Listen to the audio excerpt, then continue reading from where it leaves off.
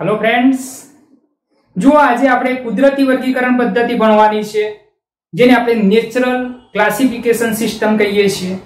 તો કુદરતી વર્ગીકરણ પદ્ધતિ અમલમાં કેમ આવી છે? તો આપણને ખબર છે કે કુદરતી વર્ગીકરણ પહેલા આપણે કૃત્રિમ વર્ગીકરણ પદ્ધતિનો આપણે અભ્યાસ કરી ચૂક્યા છીએ. તો કુદરતી કૃત્રિમ વર્ગીકરણ જે પદ્ધતિ છે, તેની અંદર કેટલાક ડ્રોબેક્સ રહેલા છે.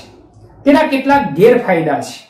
માટે સાયન્ટિસ્ટોએ નવી વર્ગીકરણ પદ્ધતિ અમલમાં મૂકવાની જરૂરિયાત જણાવી. તો કૃત્રિમ વર્ગીકરણ પદ્ધતિના ડ્રોબેક્સ કયા છે? તો પહેલું તો આપણને ખબર છે કે કૃત્રિમ વર્ગીકરણ પદ્ધતિમાં વાનસ્પતિક લક્ષણો અને પુષ્પીય લક્ષણોને સરખું મહત્વ આપેલું છે. તો પહેલો ડ્રોબેક્સ કયો છે મિત્રો? વાનસ્પતિક લક્ષણો?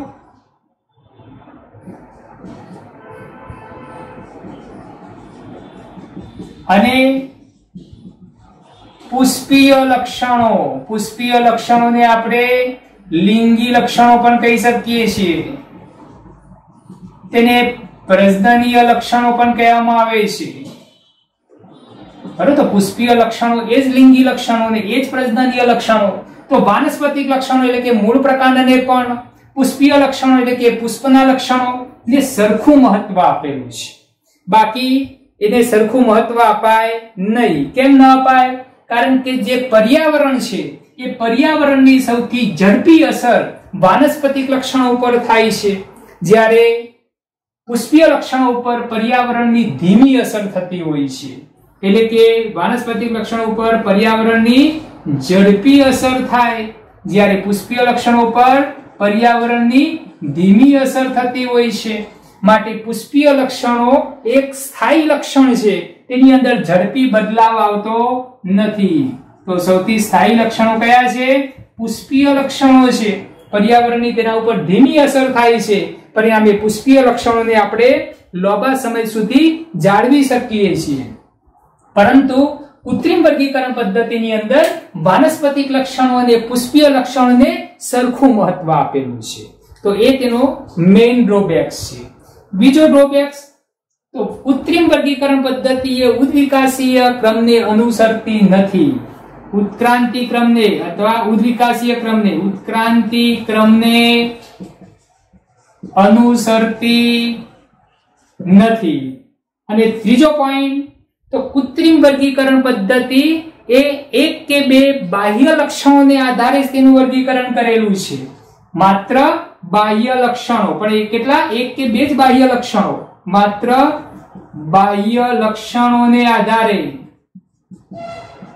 આધારે વર્ગીકરણ કરેલું છે. પરંતુ સમય જતા કોષની રચના, સમય જતો કોષની રચના કેવી હોય છે?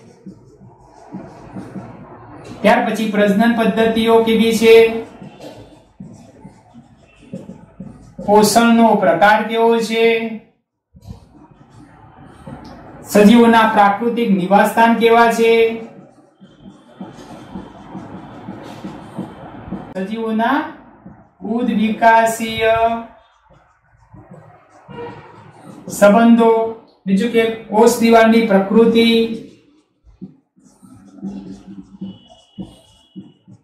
આ બધી જ બાબતોનો સમાવેશ કરવાની જરૂરિયાત જણાય.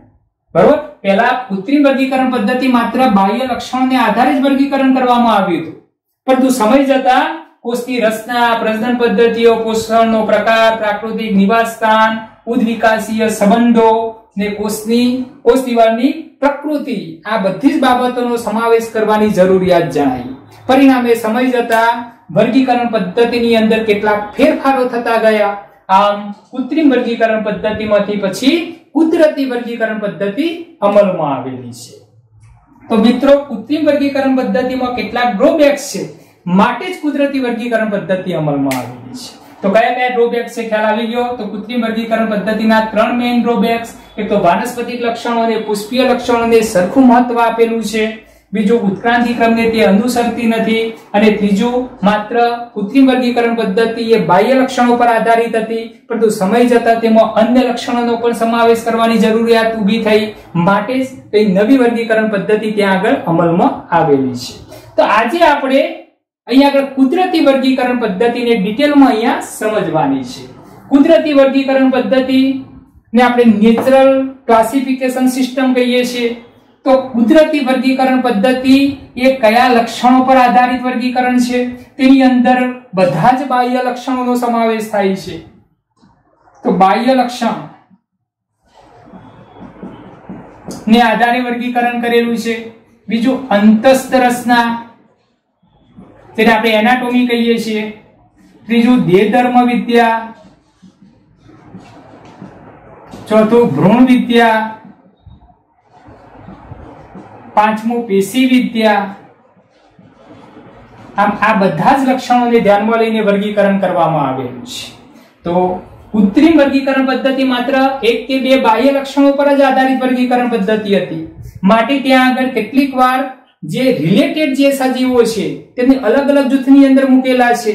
કેટલીક વાર નોન રિલેટેડ જે સજીવો છે, તેમને એક જ જૂથની અંદર પણ સમાવેશ કરી દીધેલો છે. પરંતુ કુદરતી વર્ગીકરણ પદ્ધતિની અંદર રિલેશન વાળા સજીવોને જ એક જ જૂથમાં મૂકેલા છે. કારણ કે કુદરતી વર્ગીકરણ પદ્ધતિ એકથી વધારે લક્ષણો પર આધારિત વર્ગીકરણ પદ્ધતિ છે.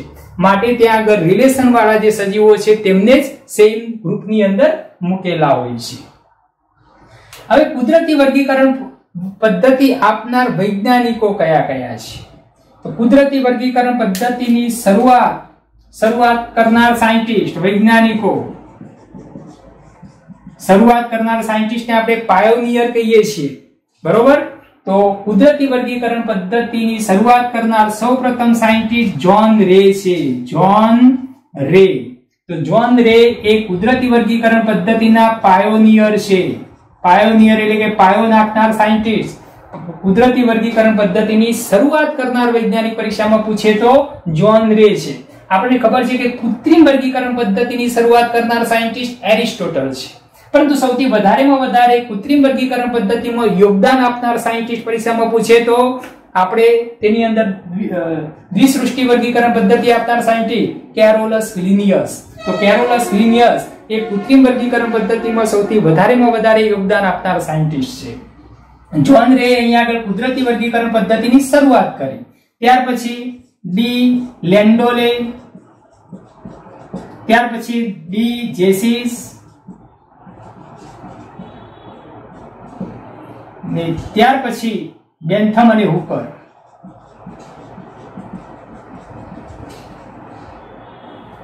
તો રે શરૂઆત કરી. પરંતુ કુદરતી વર્ગીકરણ પદ્ધતિમાં સૌથી વધારેમાં વધારે વનસ્પતિનું વર્ગીકરણ કરનાર સાયન્ટિસ્ટ, વધારેમાં વધારે યોગદાન આપનાર સાયન્ટિસ્ટ કોણ છે? બેન્થમ અને હુકર છે. તો આપણે કુદરતી વર્ગીકરણ પદ્ધતિની અંદર બેન્થમ અને હુકરની વર્ગીકરણ પદ્ધતિને આપણે ડિટેલમાં અહીંયા થોડીક સમજવાનો પ્રયત્ન કરીએ તો અહીંયા આપણે જોઈશું બેન્થમ અને હુકરની વર્ગીકરણ પદ્ધતિ. તો આપણે અહીંયા આગળ કુદરતી વર્ગીકરણ પદ્ધતિમાં શું જોયું? તો કુદરતી વર્ગીકરણ પદ્ધતિ માત્ર બાહ્ય લક્ષણોને આધારે જ વર્ગીકરણ નથી.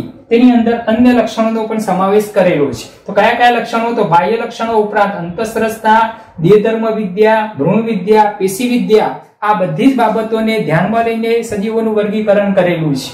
બીજું કે કુદરતી વર્ગીકરણ પદ્ધતિ આપનાર વૈજ્ઞાનિકોના નામ તમને ખબર હોવી જોઈએ. શરૂઆત કરનાર સાયન્ટિસ્ટ જોન રે છે. બરોબર?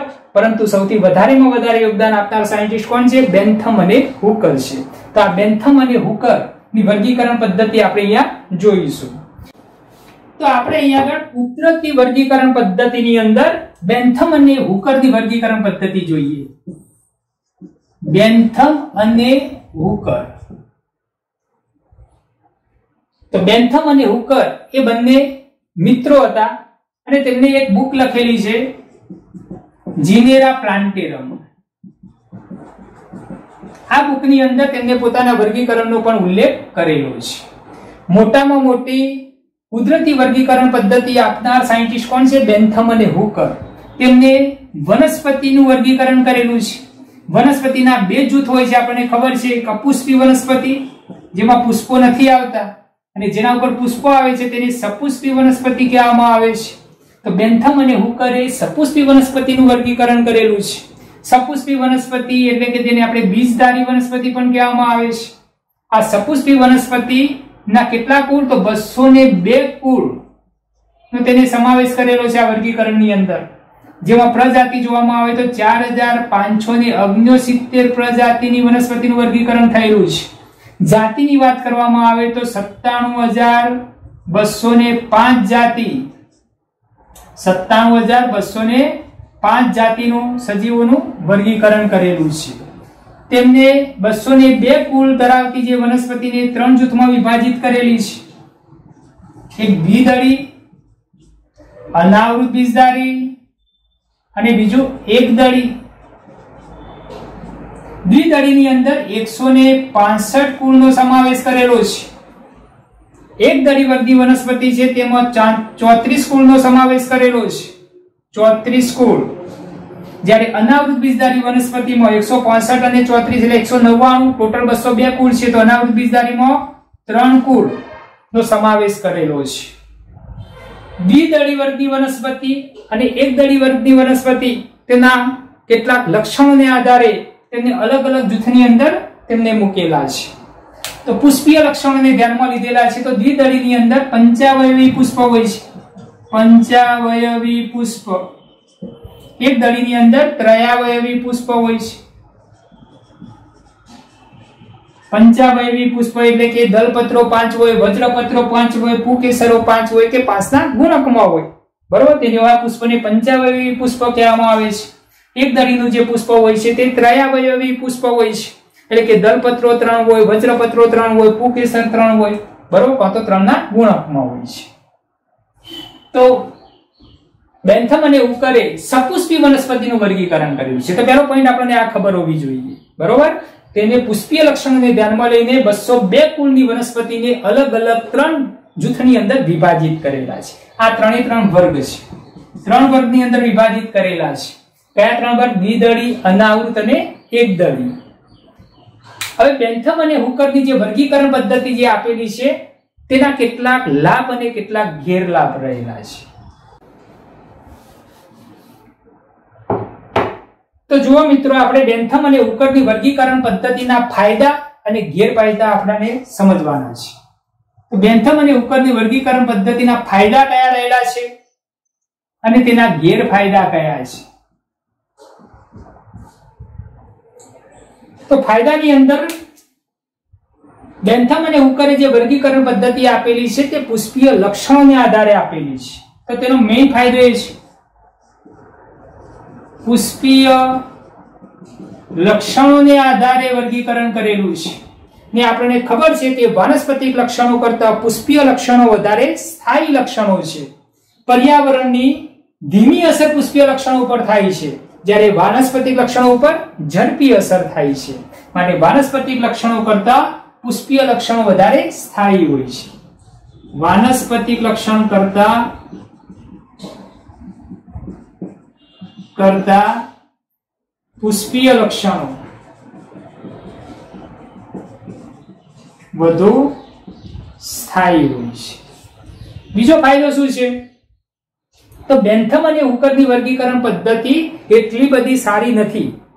છતાં પણ વનસ્પતિ ઉદ્યાન અને હર્બેરિયમની અંદર વનસ્પતિના નમૂનાઓની ગોઠવણી કરવા માટે વધુ સારી રીતે તેનો ઉપયોગ થઈ રહેલો છે. એટલે કે ખૂબ જ પ્રચલિત વર્ગીકરણ પદ્ધતિ માનવામાં આવે છે.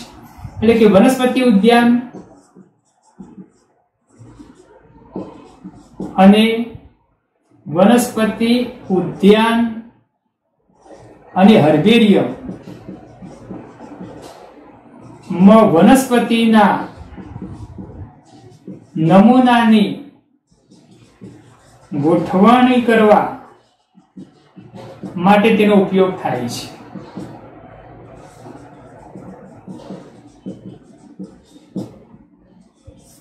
ત્રીજો પોઈન્ટ બેન્થમ અને હુકરની વર્ગીકરણ પદ્ધતિ એક સરળ વર્ગીકરણ પદ્ધતિ છે. એ વર્ગીકરણ પદ્ધતિ છે? સરળ વર્ગીકરણ પદ્ધતિ છે. કેમ તે સરળ વર્ગીકરણ પદ્ધતિ છે? કારણ કે તે વાસ્તવિક અવલોકન ઉપર આધારિત વર્ગીકરણ છે. તો બેન્થમ અને હુકરની વર્ગીકરણ પદ્ધતિ એ વાસ્તવિક અવલોકન પર આધારિત છે.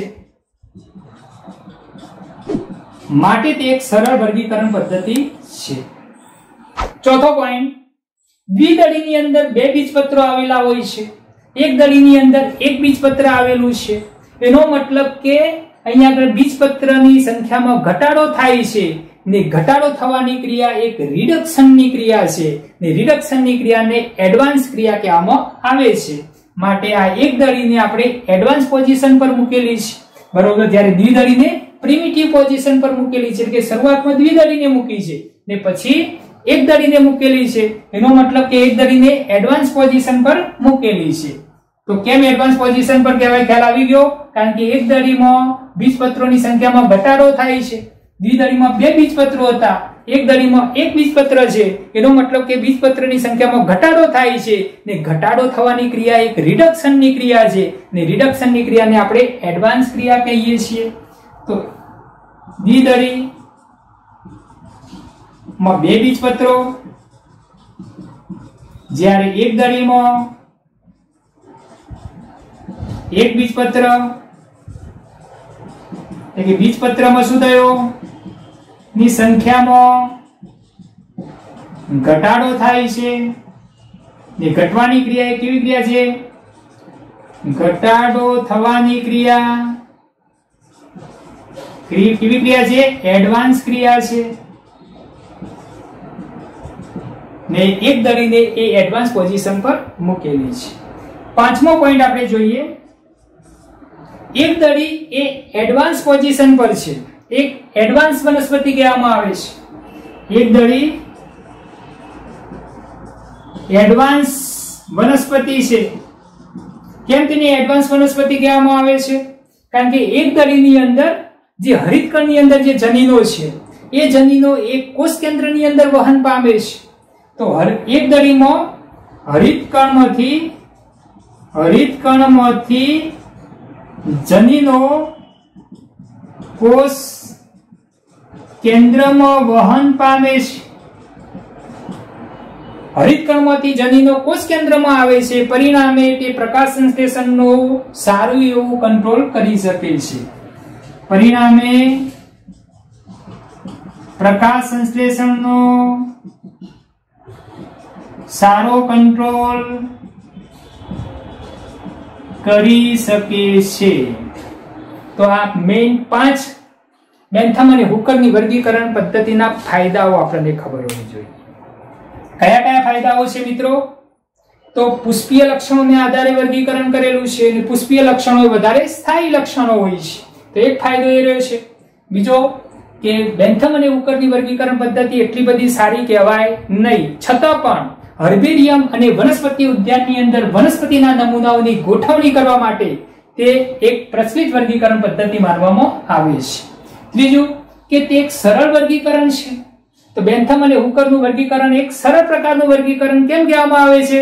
કારણ કે તે વર્ગીકરણ એ વાસ્તવિક અવલોકન પર આધારિત વર્ગીકરણ છે. માટે સરળ પ્રકારનું આપણે વર્ગીકરણ માનીએ છીએ.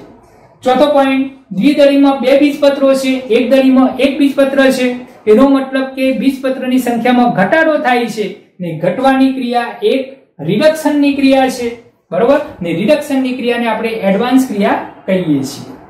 પાંચમો પોઈન્ટ એક દળી એ એડવાન્સ વનસ્પતિ છે, તેને એડવાન્સ સ્થાન ઉપર મૂકેલી છે, બરોબર? તો એક દળી કેમ એડવાન્સ વનસ્પતિ છે? કારણ કે એક દળીની અંદર જે હરિતકણની અંદર જે જનીનો છે એ જનીનો એ કોષ કેન્દ્રની અંદર તે વહન પામે છે. પરિણામે પ્રકાશ સંશ્લેષણનો તે સારી રીતે એવો કંટ્રોલ કરી શકે છે. તો આપણે બેન્થમ અને હુકરની વર્ગીકરણ પદ્ધતિના અહીંયા ફાયદાઓ જોયા. પરંતુ બેન્થમ અને હુકરની વર્ગીકરણ પદ્ધતિના કેટલાક ગેરફાયદાઓ પણ આપેલા છે. તો બેન્થમ અને હુકરની વર્ગીકરણના ગેરફાયદા કયા છે? તો પહેલો ગેરફાયદો તો બેન્થમ અને ઉકરની વર્ગીકરણ પદ્ધતિ એ ઉદ્વિકાસીય ક્રમને અનુસરતી નથી. કેમ નથી?